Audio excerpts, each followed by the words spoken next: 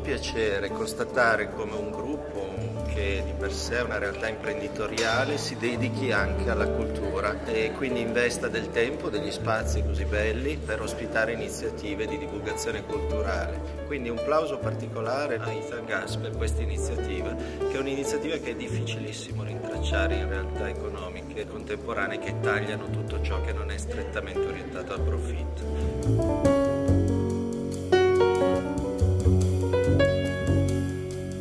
Ricordo che da ragazzo compravo dei libri di Longanesi e la pagina di dietro diceva Italgas. Evidentemente la sponsorizzazione fu praticata da Italgas fin dagli anni 50 per sostenere la cultura che in qualche modo è un gas dell'intelligenza, cioè se l'intelligenza esprime qualcosa che poi rimane immateriale ma si manifesta in poesia, in libri, in opere d'arte, quello è il gas del cervello, quindi la metafora del gas è qualcosa che esprime un'energia positiva, che dà calore, che dà vita. L'elaborazione dell'energia ha sicuramente migliorato la vita dell'uomo e quindi sarei più felice perché da ogni esigenza materiale noi ci liberiamo, quanto più il nostro spirito vive meglio.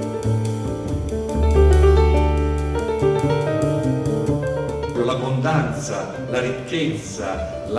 l'identificazione di ogni elemento con una puntualità perfino fastidiosa, tanto è precisa, sono proprio la stigmata della pittura fiamminga e della sua bellezza prevalente e perfino eccedente, cioè di un'idea di perfezione che va oltre la verità delle cose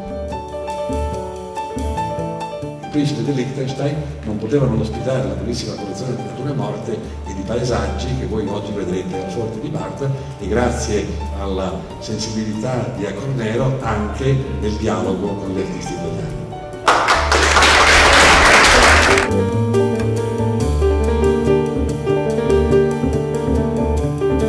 Italgas vuole promuovere insieme a SNAM eh, la cultura, l'arte, la lettura e avvicinare i nostri asset, la nostra esperienza, il nostro know-how alle persone e al contesto in cui siamo inseriti. Eh, questa sera eh, Vittorio Sgarbi ha presentato una mostra ospitata nel forte di Bard in Valle d'Aosta denominata The Golden Age che racconta la pittura fiamminga olandese eh, da cui vogliamo trarre lo spunto per evidenziare la coerenza con quello spirito operoso eh, che contraddistingue la nostra azienda.